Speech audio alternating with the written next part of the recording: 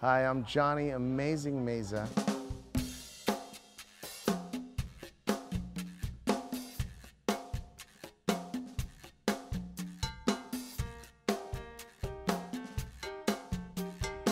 I started out at a young age, probably eight or nine years old, on drums, and then later on I decided to play some guitar. Uh, the Beatles were big, and I thought that would be cool to do. And then uh, later on, I, I, started teaching myself how to play organ and then piano. And so um, piano finally became my, my final instrument that I decided to really uh, uh decided to focus on.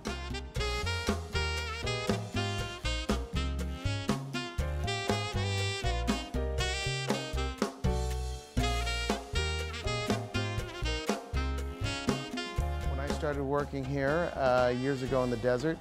Pri primarily, people wanted to hear music from uh, Sinatra, uh, Dean Martin, and so I kind of picked up on this music, and all of a sudden it became a part of me. I, I, I found out that my voice lent itself very well to singing that kind of music.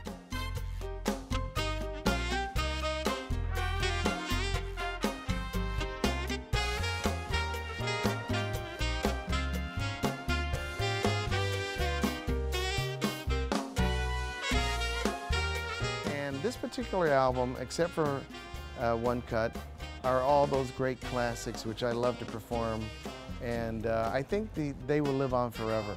However, uh, I did include a bonus track. It's an extended mix of my song Dirty Martini. And uh, what we did, why I included that song is I wanted to also let people know about this new CD, which I will be also be releasing soon uh, called a, uh, the new Smooth.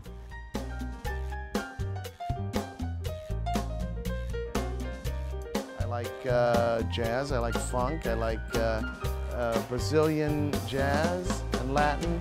And so I like to incorporate all, all, these different elements into my music. And so when I came up, came up with the song Dirty Martini, uh, I specifically had that in mind, that kind of music. So I was able to incorporate the Banda Brothers with a different sound, with the great sax sound of Will Donato, my composition, and all of a sudden it became a great composition and a song, and of uh, course in honor of the Dirty Martini, my favorite cocktail. And so it means something to me. It's, it's something very special, and it, it also is a great sound.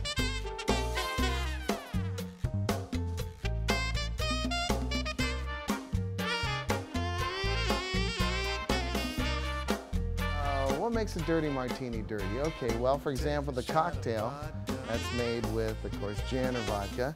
However, I like it made vodka with vodka, a little bit of olive juice, straight up two olives, the Johnny Meza way.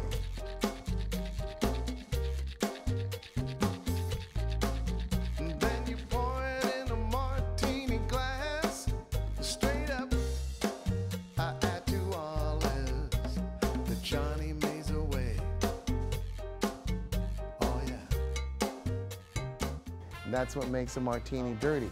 What makes dirty martini, my composition dirty, is when you see the dancers dancing to it, the way they dance to it, it's very sensual, very sexual, and that's what I guess we could call dirty dancing to dirty martini.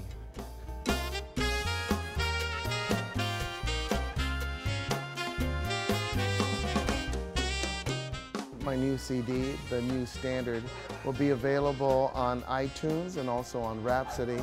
And also if you can check with musemusic.com. I'm Johnny Amazing Meza, and you're watching Edge TV. Cheers.